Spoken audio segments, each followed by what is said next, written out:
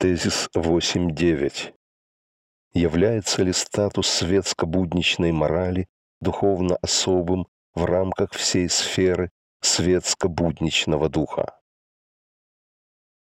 Эта готовность в кавычках будничного духа продвинуться к святости через раскрытие в себе божественного стремления проявляется прежде всего в этической области, которая, как уже говорилось, обладает ценностным смыслом даже в своем светском проявлении.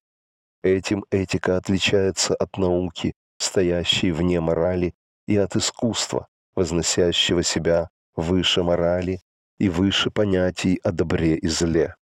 Таким образом, можно рассматривать этику как место встречи светско-будничного и святого, встречи, происходящей внутри будничной реальности как таковой.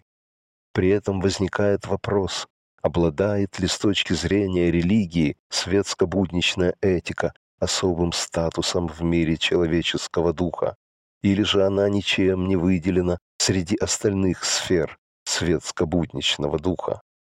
Это знаменитая проблема в феноменологии религии и теологии монотеистических религий.